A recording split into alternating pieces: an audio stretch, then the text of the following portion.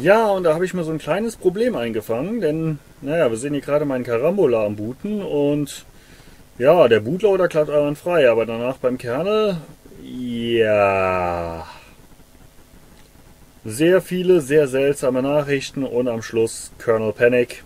Tja, bricked? Nicht ganz. Also schauen wir mal, wie wir das Ganze wieder hinbekommen. Ich habe hier einen TFTP-Server installiert. In dem Fall hier der TFTP HPA unter Arch Linux und unter xinetd.d haben wir jetzt eine Datei TFTP.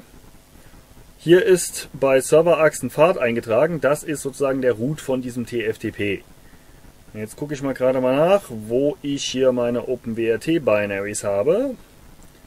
Das wäre dieser Pfad und den fügen wir jetzt da in die Config ein. Dann muss ich hier nichts hin und her kopieren.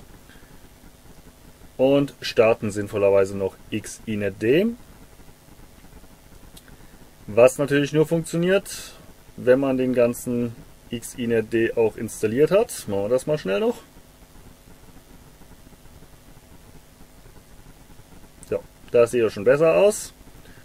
Jetzt holen wir uns noch den Dateinamen von unserer Binary, das ist hier diese Carambola SquashFS Sys Upgrade Bin, holen uns die IP-Adresse, die 106.10 in hier dem Testnetz, auf der Ethernet-Verbindung zum Carambola und auf dem starten wir jetzt quasi neu, also ich mache jetzt ein Reset und drücke bei diesem Bootloader die Taste 2. Jetzt können wir hier die IP-Adresse eingeben fürs Device, also den Carambola selber, die vom Server, also von unserem Laptop, die 10. Und den Dateinamen, den wir schon in der Zwischenablage haben, fügen wir hier ein. Und jetzt sehen wir hier Loading. Got it ist schön, aber irgendwie tut sich nichts. Oh, ja, Disable sollte man natürlich auch auf No stellen. Dann starten wir gerade den äh, XINET nochmal neu und ja, das sieht natürlich deutlich besser aus.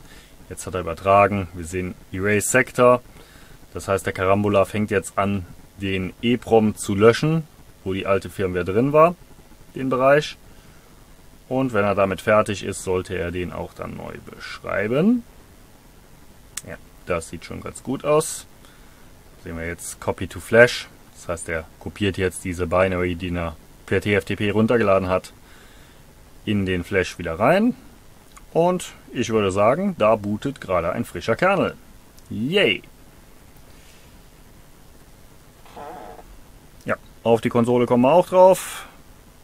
Würde ich doch sagen, successfully unbricked.